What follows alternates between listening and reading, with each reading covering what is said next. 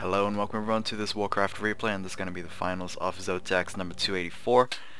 I do apologize for not casting Warcraft, you know, back to back to back days, but, you know, I gotta, gotta get variety out, even though I only have like one other game that I upload. I might upload another StarCraft game, I don't know. I do have one recorded and, yeah, just waiting to uh, be uploaded. So this is of five series uh, uh, best of five series. Uh, and the first game is gonna be on the map Echo Isles. On the top left, we have Apex's Sonik, who's gonna be spawning as the Yellow Night Elf player. And on the top right, we have DHC's Yumiko, who's gonna be spawning as the Pink Human player. And this is hopefully gonna be short. Um, unlike the last series, uh, small maps usually tend to mean small games, but, you know, like I said in the last series, it just surprisingly got longer and longer as it gradually went on. The first map for the last series was, um, was it Last Refuge or something? Yeah, it was Last Refuge. totally big, a relatively huge one-on-one -on -one map. That was like 10 minutes. Second game, it was Secret Valley smaller than Last Refuge, but it turned out to be like 16.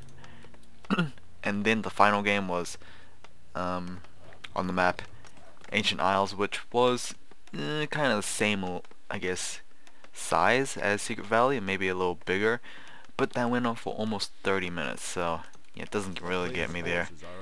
By the way, uh, I just needed some time to, I just needed something to fill in the blank time between you know, starting the game and then going on to creeping. So, over here we have the Demon Hunter coming out for Sonik. And we have the Archmage out uh, for Yumiko. We do see a Wisp um, gathering lumber over there. He did spot out that Yumiko will be starting this mercenary camp and we can see a ton of militia coming out as well hiring up that Shadow Priest I really gotta find out how much they actually cost. The only thing I know is that they uh, cost three food, so that's kind of huge for,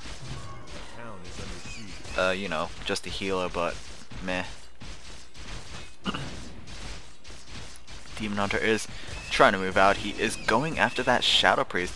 He does have one more left for a mana burn, um, before he dies. But we have a surround on that Demon Hunter. Demon Hunter trying to get one more kill and possibly get Immolate as a second ability. Or he can just go for that evasion and then try to deal as much damage as he can before a TP scroll. There we go with that. Level 2 and what are we going to go for? We're going to go for an Immolate right here. Um, forcing Yumiko to pull away his militia and break that surround. Very nicely done from that Demon Hunter. Honestly, I think Yumiko probably could have sacrificed one a peasant for that demon hunter kill. And look at the demon hunter he's running back on. Possibly uh there is no berserker so he might steal a berserker. Berserkers tend to be on the cooldown very soon. We do have a tree of life over here. Very interesting the footman did spot that so Yumiko possibly gonna uh, hold off on that expansion and maybe uh, apply tons of pressure early on and you know deny that expansion. Um, either way, we did see Sonik steal that Troll Berserker. Not sure why he is still there. He probably should be used for something else, or maybe he's just waiting there to steal another Shadow Priest. Yumiko coming out with a Periapt of Vitality from this mercenary camp. And we'll spot that Troll Berserker whether or not he will get a Shadow Priest. No, he will not. Yumiko will get it himself. And the Berserker really needs to be careful. Doesn't want to give um, any free experience to that Archmage.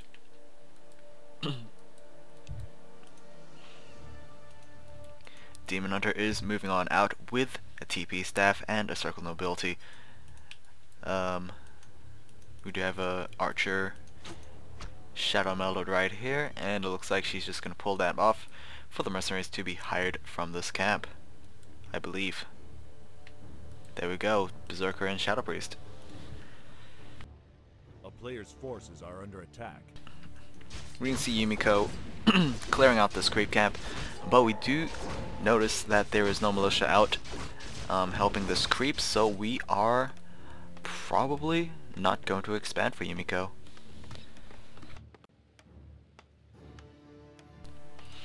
Ah, throat is a little bit choppy, but I can't really help it. I kinda over exceeded my fizzy drink quota, so yeah.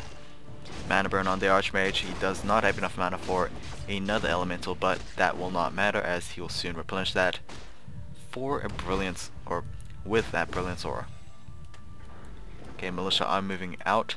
We might even just go for a tower push right here, or maybe he might tower push right here? Dunno. Or if Yumiko is really that kind of guy, he's going to expand on his uh, opponent's expansion. Okay, Sonik, not that many units, 34 versus 41. Now we gotta uh, take into the fact that these peasants are also joining in the fight, while these wisps can't really attack at all, and if they do detonate, they will be sacrificing themselves. Unfortunately, there was no detonate right there. Probably could have gone off on that elemental. Um, would have been some experience to that demon hunter. I mean, he's only level 2, while the Archmage is at level 3. It's not that good at all. We'd have double berserkers for Sonik.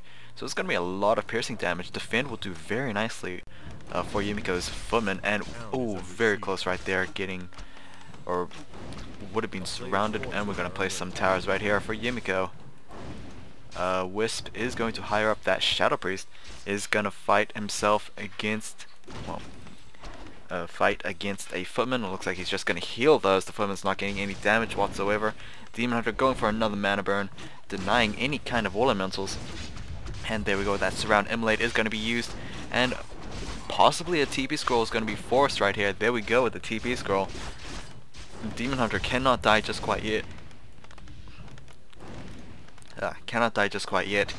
Um, he is a pretty much valuable asset to this, and we see that uh, attribute drop right there, so, you know, not much mana from those Moonwells will be used on that Demon Hunter alone. We, I believe, had a couple of towers being destroyed.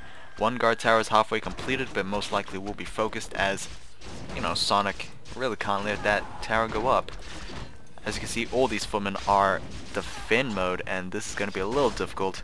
Every single unit for Sonik is piercing, except for that Ancient of War and Demon Hunter, and the last tower for Yumiko will fall. Three more will go up. Yumiko not going to tier 2 just quite yet. Not sure if that's a smart move or not. Um, sticking to tier 1 and not expanding.